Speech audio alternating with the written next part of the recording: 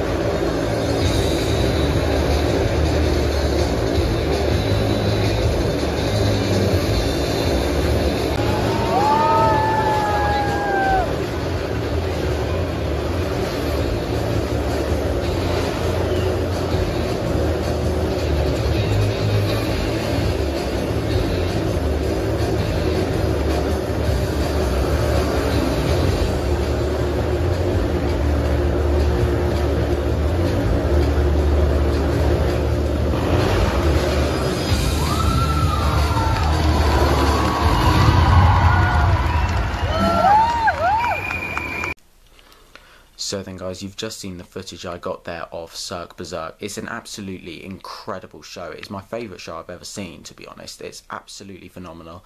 All of the different stunts in there were amazing. It's an hour long. It's absolutely phenomenal. I don't even really know how to describe it with words to be honest because it's just that good. You have all the different stunts in there all the motorbikes in the big ball at the end that was definitely my highlight. They got four motorbikes in there which was absolutely insane but there was so much in there that amazed me. It was just absolutely incredible. It was amazing everyone in there. I don't know how they do it. It's absolutely mind blowing. It's absolutely phenomenal. If you haven't seen it, I definitely recommend watching it. It's seventeen pounds for a ticket to go in there, so it's not the cheapest. However, it is absolutely worth it.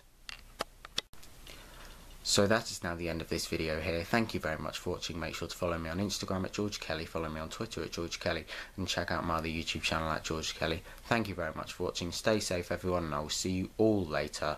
Bye.